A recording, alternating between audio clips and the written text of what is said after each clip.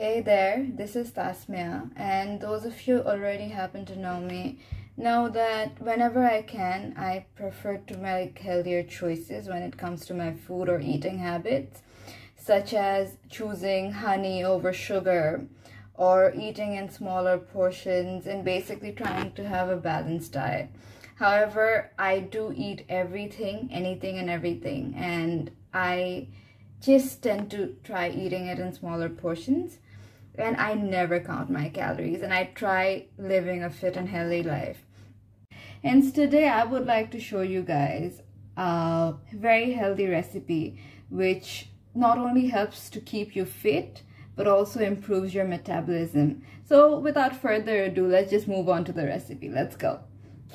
So today we'll be making chia flaxseed pig nut pudding for which we'll be needing chia seeds, uh, pig nut, flax seeds, dried fruits like raisins, some cranberry, almond, dried apricot, yogurt, and most importantly, fresh milk. First, we add milk.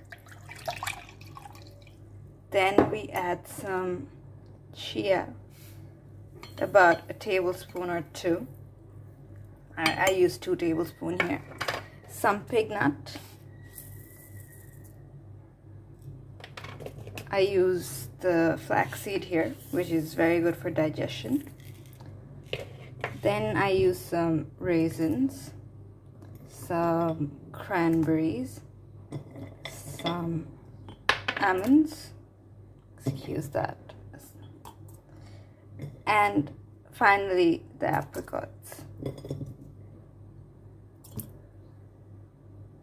Then we put in about two tablespoons of yogurt, which is very important in this recipe.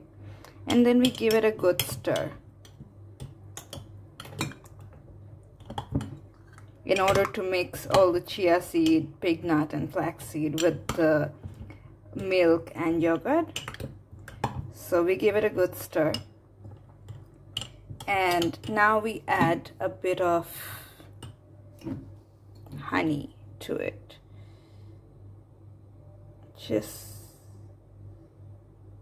yeah.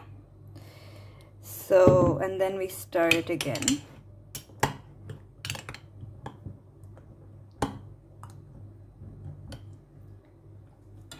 And now it's ready to be put into the fridge for about an hour for the entire pudding to set it already looks pretty good I'll show you the end product after it comes out of the fridge. So as you can see my pudding has set and this is the consistency that we get.